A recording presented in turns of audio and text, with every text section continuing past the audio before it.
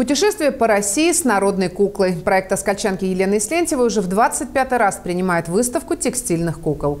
В этот раз в библиотеке имени Пушкина разместились экспонаты из Пермского края. Дама на прогулке, курсистка, разносчик газет, бабушка с детьми. За стеклом обосновались десятки кукол. У пермских мастериц в ход шли и пряжа, и проволока, кусочки меха, лоскутки, трикотаж, картон, ватин, дерево, бисер. Все это скручивалось, сшивалось, декорировалось, обвязывалось. И в итоге получились персонажи нам на забаву, всем на удивление. Выставка под таким названием открылась в мини-музее библиотеки. Это куклы э, клуба из города Чайковский.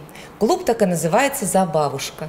И здесь на самом деле есть чему удивляться. Под руководством народного мастера России, народного мастера Пермского края, талантливого художника, педагога, искусствоведа Татьяны Юрьевны Антоновой из обычных э, учителей, врачей, экономистов, пенсионеров э, стали настоящие мастера – в клубе. И сегодня вот представленные работы – это работы очень высокого уровня. Куклы-пермячек на всероссийских выставках вызывают восхищение не только тех, кто далек от рукоделия, но и людей, посвятивших творчеству годы. Глядя на костюмные куклы, можно понять, в чем ходили модницы и модники купеческого прикамья на рубеже 19-20 веков. Также значит, представлены костюмные куклы э, традиционных нарядах Пермского края тоже очень интересные головные уборы, вот, ну, традиционные, ну, то есть есть кокошники,